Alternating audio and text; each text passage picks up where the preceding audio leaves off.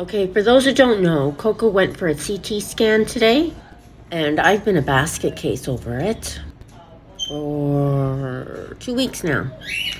Anyways, she's okay, she's alive. I won't get the tests or any results for three days, and then more results in five days.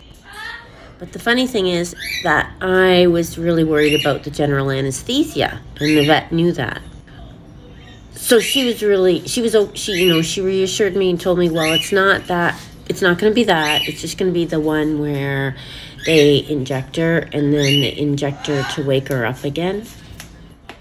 So they go there to do the ct scan. They inject her. And she's like no i'm not i'm not falling asleep. I'm going to fight this so they were trying to get her to um, get her into position, and they get her right in the position, and she plop her head up, and she would not go to sleep. She fought it tooth and nail. So they finally got her to sleep. I guess it like took like 45 minutes because that, and normally it's supposed to be really quick, but she was really, really, really spicy. She hates being told what to do even if you're a doctor, she won't respect that at all. So then they finally get her to sleep. They get this beautiful picture and they give her the stuff to wake her up. And she's out like a light. Like out, out, out. She wouldn't wake up. So of course it's um kind of stressful.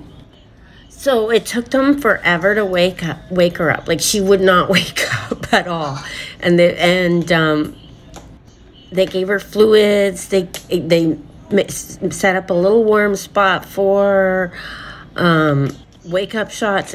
The vet did say that it's very safe what they were doing, but she was just being really difficult.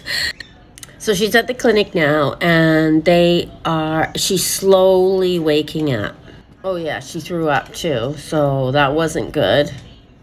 So the vet wants to keep her overnight, which is fine with me. I'd rather be her be with professionals if she's having trouble. I asked if she had seen the um, the results or the scan at all, and she said that no, she was too busy trying to get Coco to wake up. Anyway, so she's there now, and they're gonna hand feed her that they felt like she could eat now. And three days, I'll get some results, and then five days, I should have most of the results. And tomorrow, I get to pick up Coco, so we can have her back in our flock. Okay, for those who don't know, Coco went for a CT scan today, and I've been a basket case over it for what are you doing? Oh no, no, no, no, no, no, no, no, no, no, no, no.